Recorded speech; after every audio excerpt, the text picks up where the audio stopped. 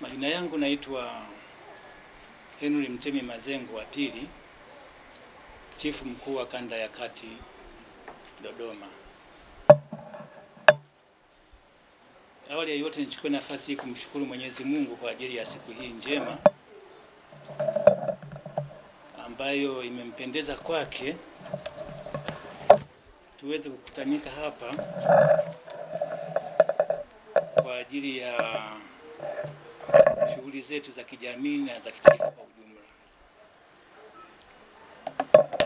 Naitwa Mtemi Henry Mazengo wa pili. Jina hili nimelichukua kwa babu yangu anayeitwa Mazengo Chalula. Mazengo Chalula ndiyo aliyekuwa chifu wa kanda ya kati Dodoma na Singida.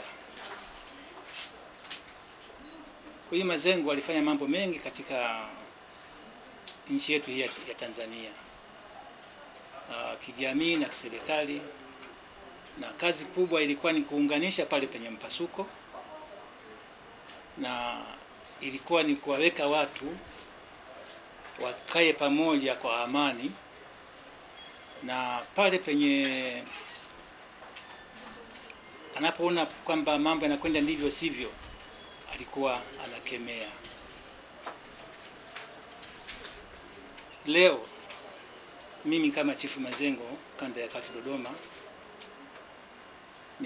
nimewaita waandishi wa habari ili kuweza kuongelea taarifa ya ndugu yetu Polepole ambayo aliitoa katika gazeti la Raha Leo. Kwamba alikuwa ana kashifu au ana, cheo cha machifu kwamba machifu wanaweka ukabila na machifu wanasema si chochote wala si lolote. Uh, kitendo hiki kwa sisi kama machifu kwa kweli tumeona kwamba ametugusa sehemu ambayo si sahihi, kwa sababu machifu sisi ni wamoja Tanzania nzima, tunakutanika pamoja, tunafanya mambo yetu kwa pamoja, na ndio maana unakuta hata wakati tuna tunakwenda kumwapisha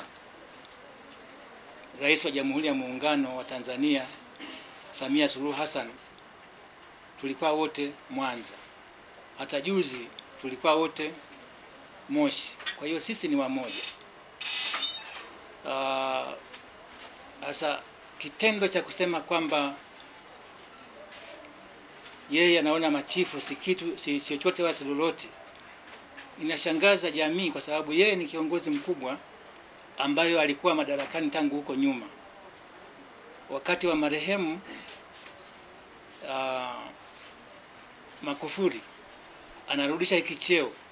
Yeye alikuwa madarakani wakati tunakwenda kumwapisha rais wa Jamhuri ya Muungano wa Tanzania huko Mwanza na kumpa jina la, la, la, la, la, la Hangaya, tulikuwa naye. Sasa cha ajabu leo anaku- anageuka anakuwa kwamba anasema kwamba machifu si chochote wala si lolote. Hili tunalikemea kwa nguvu zote, na taarifa kama hizi sio rais, sio, lazima rais akemee.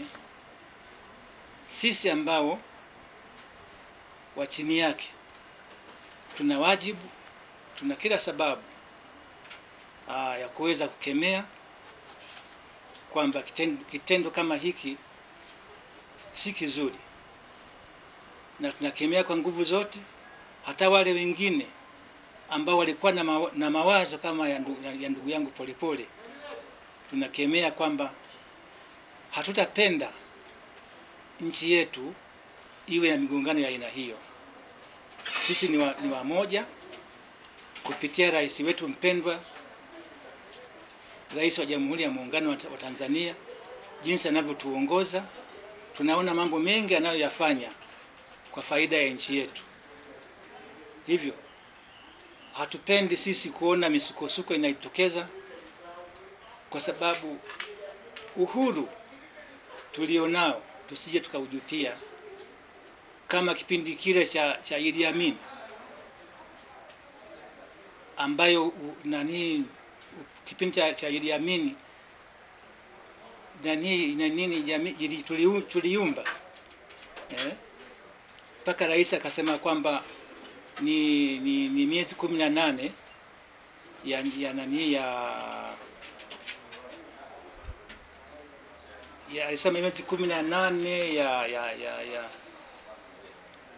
ya matatizo, lakini tunaona msukosuko unaendelea mpaka hivi sasa kwamba hali haijawa hajakaa sawa.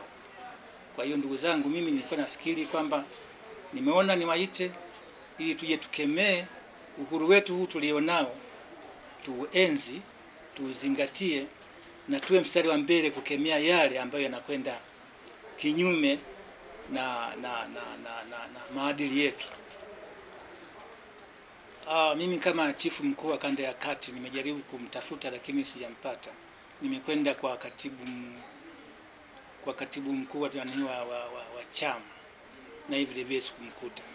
Kwa hiyo nikaona kwamba la msingi ni kukimbilia kwenye vyombo vya habari, na popote pale hizi taarifa zitakapokuwa zimemfikia, niombe aje achukue maadili kwetu, kwamba yeye kama yeye ni jamii ni, ni cha jamii kutokana na, na muda mrefu ambayo yupo, yupo, madarakani, lazima watu wapate wa, wa, wa, wa, wapate kujifunza kutoka, kutoka kwake yeah.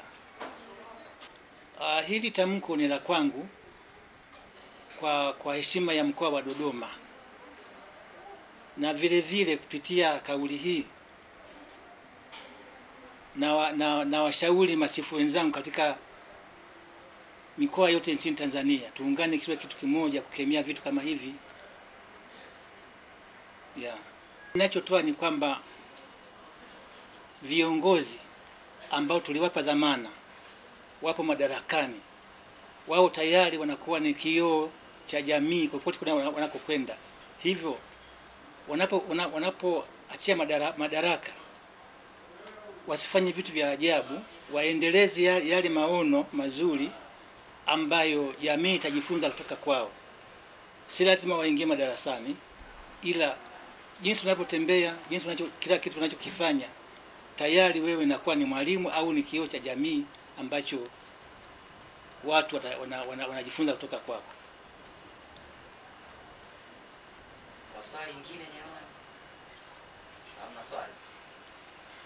La mwisho ni kwamba kwa mamlaka niliyopewa na Jamhuri ya Muungano wa Tanzania kupitia wizara yangu ya Habari na Utangazaji, ninaambiwa kila ninapofanya vikao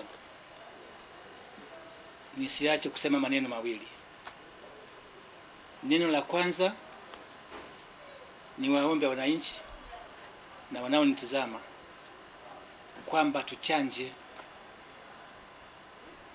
twendeni tukachanje kwa hiari. Hii ni kwa faida yetu.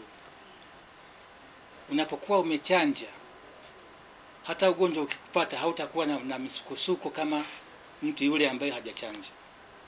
Kwa hiyo nitoe wito kwamba wananchi, twendeni tukachanje.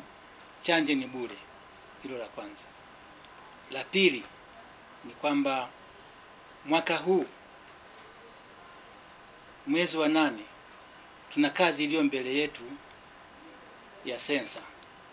Niombe wananchi tujitokeze, twendeni tukahesabiwe tuka, tuka, tuka faida ina e, faida ya, ya kuhesabiwa ni kwamba tuendane pamoja na bajeti ambayo serikali inapanga kwamba hii bajeti italingana ita, ita, ita, ita na mahitaji ya, ya wananchi.